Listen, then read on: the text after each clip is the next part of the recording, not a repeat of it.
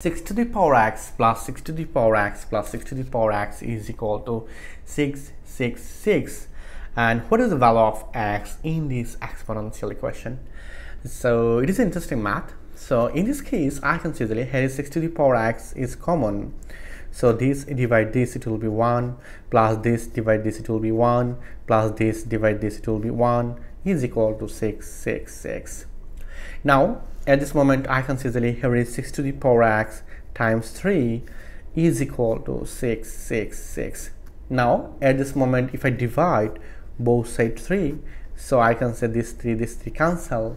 And we'll find out here is 6 to the power x is equal to 2 2 2 because of that I divide this this this by 3 so we'll find out here is 222 okay. Now at this moment if I want to find out the value of x in this exponential equation if I use both side natural log so we'll find out easily the value of x in this exponential equation. So let's start. I use both side natural log so log 6 to the power x is equal to 2 log 2 2 2 so in this case I can see easily this x move on in front according to logarithm rules. So x log 6 is equal to log uh, here is 222 yes. Now at this moment if I divide both sides log 6 so we'll find out x is equal to log 2 2 2 over log 6 yes.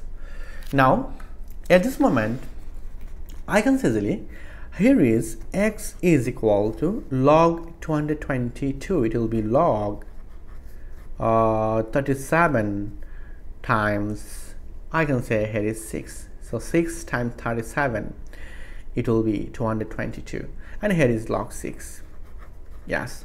Now at this moment according to logarithm rules we know, we know that log av is equal to log a plus log v. According to these rules I can see easily it will be log 37 plus log 6 and divide log 6 yes.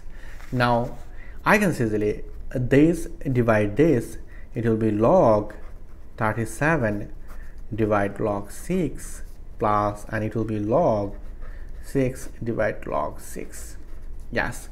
Now at this moment this divide this it will be 1 so I can see easily here is 1 this 1 and this divide this according to logarithm rules I can say the little bit log 37 by 6 this is our final answer. Thank you all. If you enjoy this video please subscribe my channel for other interesting video. Goodbye. Take care